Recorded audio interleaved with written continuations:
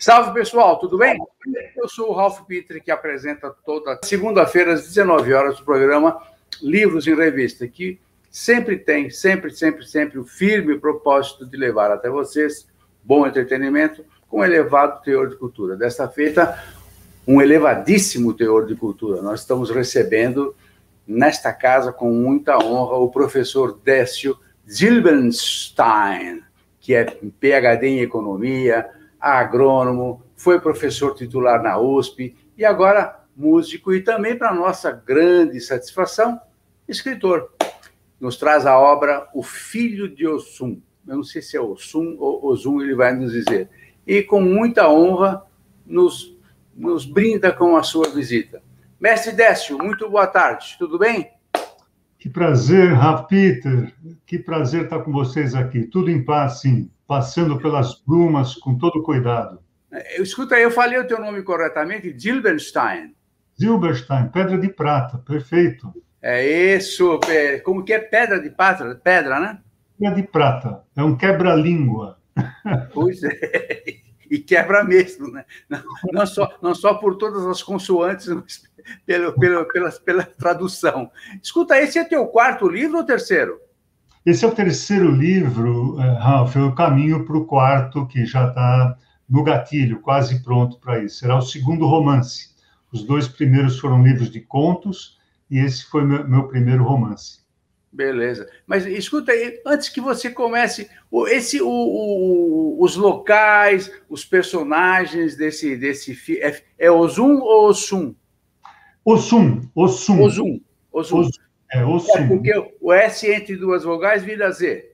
Eu, eu tive muita, muita dúvida. Eu comecei grafando com X, mas para fazer esse livro eu fui buscar a opinião de algumas pessoas ligadas aos orixás. Então eu recebi a orientação de que eu utilizasse o termo Ossum e não Oxum, que é então a terminologia correta que os africanos trouxeram para o Brasil. Ozum, Ozum. Ozum. Ozum, perfeito, fantástico. Bom, escuta, agora os, os locais, os personagens que você tão bem descreve, o, o, o, Jos, que tem uma, uma, uma participação fantástica, é tudo criação sua ou são elementos que você foi buscar quando você nasceu, morou, nasceu, não, você morou muito tempo no Bom Retiro? Bom, eu acho que sempre que um autor faz alguma coisa é um, é um misto, não é? é a gente aprende por viver ou a gente aprende por ouvir falar, não é? Uhum. Então, nesse caso, o, o Filho do Ossum tem uma narrativa que começa na Europa durante a guerra e termina no Brasil. Os locais são locais, para mim, muito familiares, né? Tanto o local onde o, o, o, o personagem principal sai, não é? Que é Wageningen, na Holanda, é um lugar que eu conheço bem, tem a universidade que eu frequentei por muitos anos. E o Bom Retiro, que é o local onde eu nasci e enterrei o meu umbigo, e local para onde eu volto com muita frequência.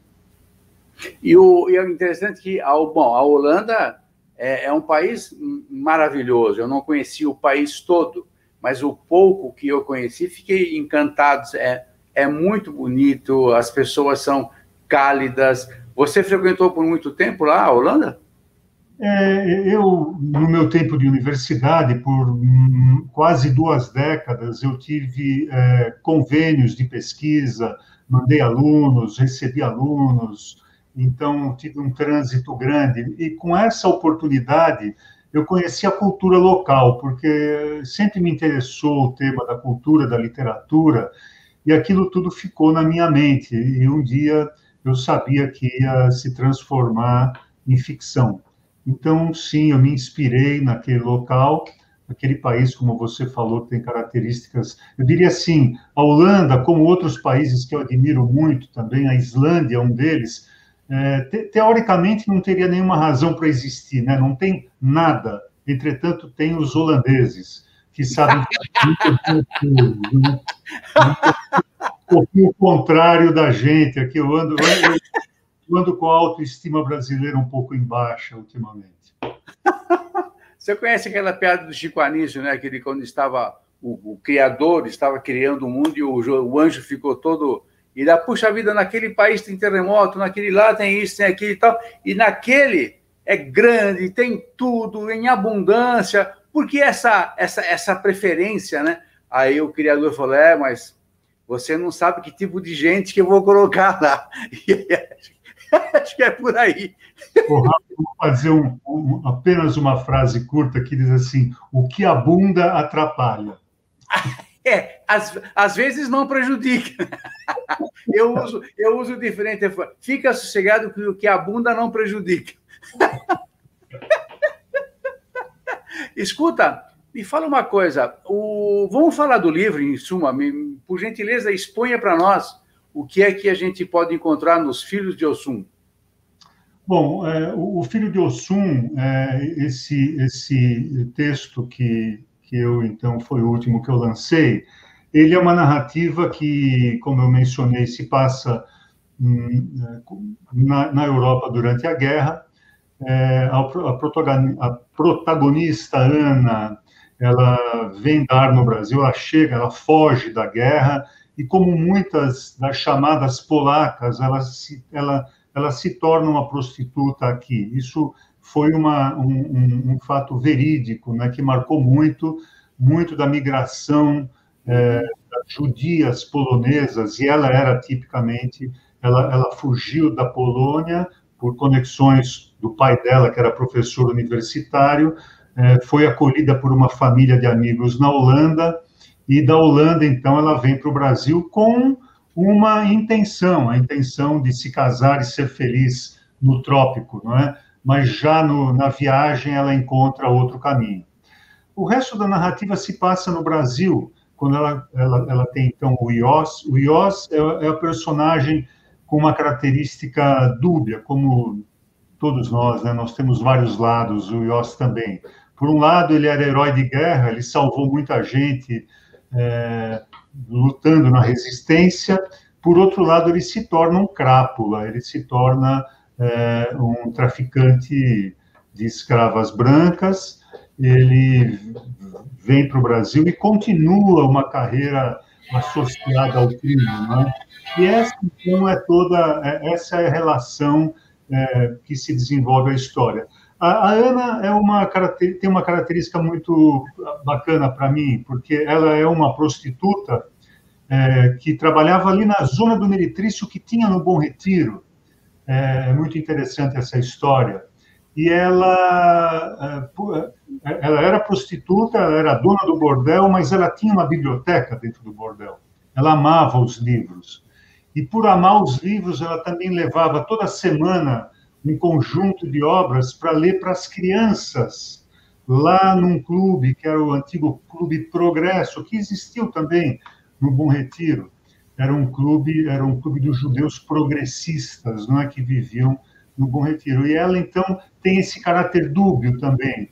Ela, ela, ela é prostituta, é dona do bordel e ela, entretanto, ela tem uma relação de carinho com o livro e com as crianças. E a história, então, se passa muito no conflito entre essas duas pessoas. O Ios atraiu, porque ele, na verdade, prometeu trazê-la para o Brasil para salvá-la, mas ela acaba se prostituindo por, por culpa dele. Né? Então, é essa relação que vai marcar uh, toda, uh, todo o, decorrer dessa história. E por que talvez Ossum, né? Por que o filho de Ossum? Porque, na verdade, Ana, dentro do bordel, ela conhece uma mulher que trabalhava para ela, que é a Pretalina. A Pretalina é uma negra, filha de escravos, que mora lá nos fundos do Bom Retiro, na beira do rio, onde hoje tem a Marginal, aquilo era favela. Ela morava lá e ela trabalhava no bordel. E ela era filha de Ossum. E ela, então, tem toda uma relação de proteção, tanto com Ana, como com o próprio protagonista, o Ios. Então, essa mulher tem um papel muito importante também na história. Não, e o legal é que o, Ios, que é o que para mim acaba se tornando, são os dois, né? A Ana e o Ios são os personagens principais. O Ios acaba se tornando um verdadeiro 171, né? na boa, na maior, né? Ele se adaptou rapidamente ao mundo do, ao submundo, né? Ah, sim, sim. Ele, ele tem sucesso. É, por outro lado, ele também chega no limite no final. Não quero fazer nenhum spoiler para os meus leitores, mas ele vai ter que se é, que, que, lidar com, é, com as relações difíceis que ele criou durante a longa carreira criminosa. Aí ele vai ter que voltar para a Holanda, então a história vai terminar por aí. Escuta, uma, uma, uma perguntinha meio capciosa, que talvez a gente tenha que responder em off. Desses locais todos que você menciona do, do Bom Retiro, qual deles você participava mais? Olha, assiduamente? Eu posso te contar com muita tranquilidade, porque, veja só, eu nasci em 1953 e a zona do Meretrício, no Bom Retiro, ela foi fechada em 1952. Que azar, hein? Está vendo que azar? Uma política, uma política higienista, o então governador Ademar de Barros e, e, e, e o, o, e o prefeito da cidade de São Paulo fecharam a zona. E, na verdade, esse é um momento muito interessante, a meu ver, na, na, narrativa, porque Ana está lá no momento em que a zona é fechada. Eu quero fazer um comentário que é, tem uma, uma historiadora muito bacana, que chama-se Paula Janovic, Janovic. Ela, ela é uma historiadora, é, trabalhou no arquivo histórico, e ela faz um passeio, quando a, quando a pandemia não existia, e quando ela terminar, ela voltará a fazer, pela antiga zona da prostituição do Bom Retiro. E esse passeio é com uma narrativa, com a história, com as fotos. Então ela vai parando de esquina por esquina, onde hoje tem aquele monte de lojas predominantemente dos coreanos, né? Então tem uma história muito interessante a ser contada ainda e também das próprias polacas, não é? Que é, já foi, já foram retratadas por autores como Moacir Slier e tantos outros autores. Né? Você sabe que tem um professor, o JB de Oliveira, não sei se você conhece, o famoso JB, ele conta uma história em livro que a palavra encrenca, não sei se você sabe disso, originou-se dessas moças polacas que, quando elas viam alguém se aproximando e que tinha um, um jeito meio esquisito e que poderia gerar algum problema, elas falavam der Krank. Ein Krank. Ein Krank. Você sabia dessa história? Sim, ela, ela até aparece no livro. Essa, essa é uma história, assim, é muito interessante, né? Talvez uma das poucas palavras que vieram do Yiddish, né, para o português, encrenca. Que beleza, que beleza. Escuta, mas me conta, e, como, e de quando você se bandeou para a música? Você também tem um, faz parte de um conjunto, os violeiros, não é isso? Ah, bem, a viola caipira é uma, é uma brincadeira apenas. Eu, eu costumo dizer que eu não sou músico, eu sou um acidente musical. Eu, eu e Rose, minha esposa, temos um duo, o duo de voz e viola caipira, que é o duo Vereda Violeira. E, na verdade, o que a gente faz é cultivar a boa música brasileira, principalmente a música tradicional, aquela que não, que não aparece mais na mídia, e nós temos um trabalho, além da gente tocar para os amigos e de brincadeira, nós também fazemos um trabalho social com lares de idosos, e hoje não se pode mais fazer, nós estamos é, morrendo de vontade de voltar, porque nós tocamos para os velhinhos, isso é uma coisa muito deliciosa. Eu arranjo, eu arranjo um monte de namorada sempre. eu imagino, eu imagino. Escuta, me fala, Alguém me disse que você está participando de um evento literário muito bacana na Europa. Conta isso aí rapidamente, que temos um minutinho só. Bom, é, é bem rapidamente, é, sim. É, bem, eu tenho várias ligações, conexões com o mundo literário europeu. Eu mencionei Islândia, um deles é na Islândia. Eu, nesse mês ainda, farei parte do, de um evento que, que é um retiro de escritores, embora esse ano ele não será, é, obviamente, será virtual. Mas o que você se refere é um trabalho muito importante que chama-se Mapas do Confinamento. Eu convido é, os seus, a sua audiência a visitar esse site que está magnífico.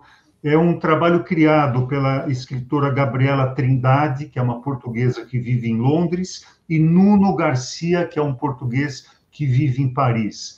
É, convidaram é, escritores, fotógrafos, poetas, ilustradores do mundo todo, mas principalmente lusófonos, para contribuírem para é, esse, esse coletivo, que é um coletivo que tem o objetivo de. É, é um projeto multi, é, multicultural e defesa da cultura. Nesse momento, ele é quase que um manifesto contra políticas que não acontecem só no Brasil, mas no mundo todo, políticas desastrosas que têm minado a cultura é, no mundo todo, não é? Então, é, e, inclusive visualmente está muito bonito e tem uma centena de escritores e eu tenho o prazer de fazer parte desse coletivo que contribuem com temas associados à pandemia, ao confinamento, ao isolamento, a tudo isso que nos provoca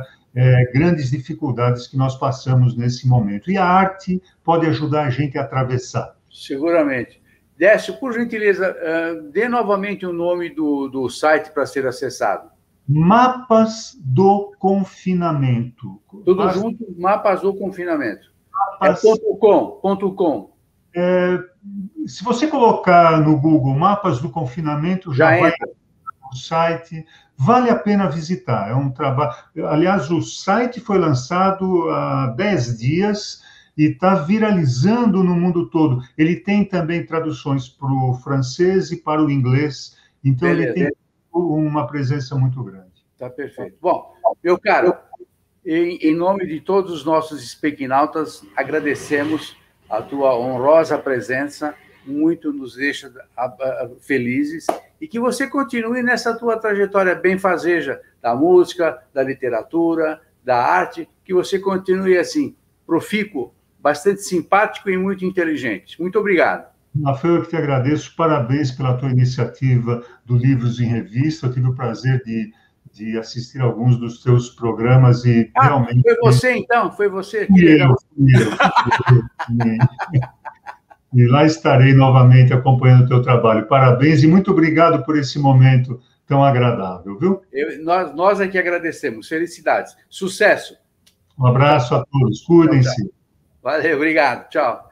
Pessoal, nós conversamos, como vocês viram, ouviram, com esse professor da, ele não quer que fale professor, mas professor é sempre professor, embora ele já não esteja mais ministrando aulas, mas uma vez professor, sempre professor, Décio Zilbenstein, que trouxe ao mundo o filho de Osum.